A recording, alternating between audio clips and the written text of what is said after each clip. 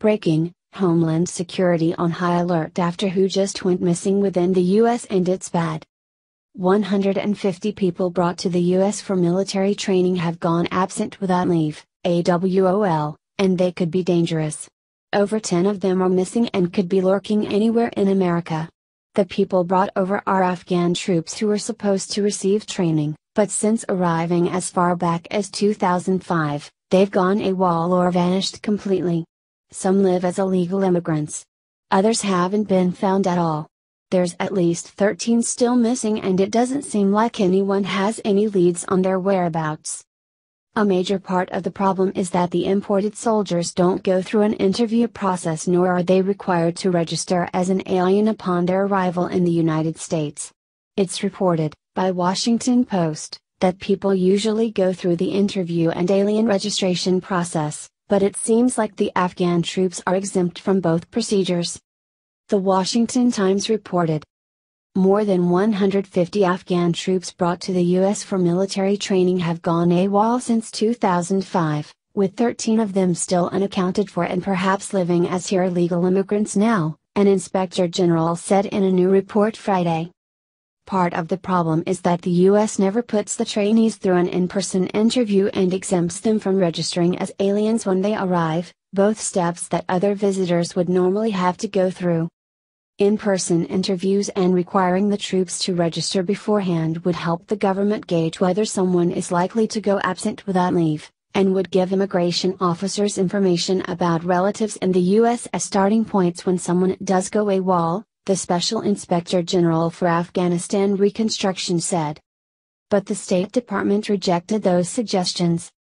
The audit said that while no acts of terrorism have yet been traced to the trainees, immigration agents say they're worried because a number who go AWOL end up trying to claim asylum in the U.S., stymieing any national security investigation into their behavior. Beyond the potential danger, American taxpayers also miss out on the investment in the troops. There's two main concerns when troops from other countries go missing without leave. The first problem is that they could be dangerously lurking in the country and no one really knows who they are or where they're at. That's potentially dangerous in terms of terrorism or other forms of attacks. It's quoted above as there not being any acts of terrorism linked to trainees, which is good.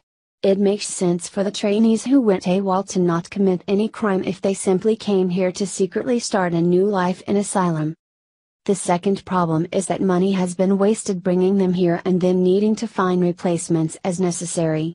It's not cheap to fly people from Afghanistan to America, so imagine how many extra flights there may have been thanks to people going missing and our government not having much of an idea of where they are, who they're with, or what they're doing. The Washington Times went on, Investigators identified 152 Afghan trainees who have gone absent without leave under the training program.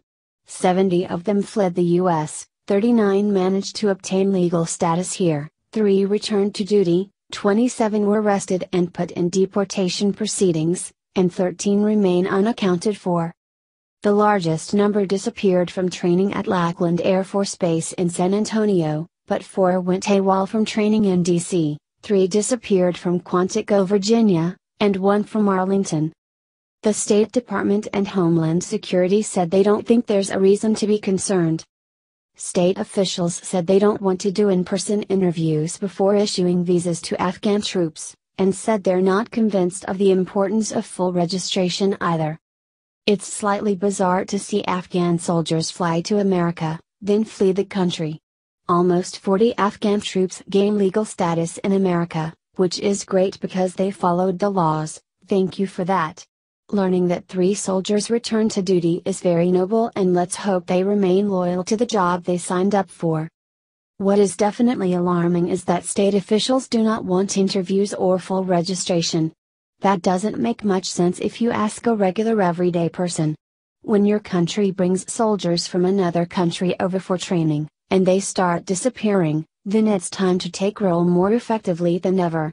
One simply does not permit random people into their country and not keep tabs on them.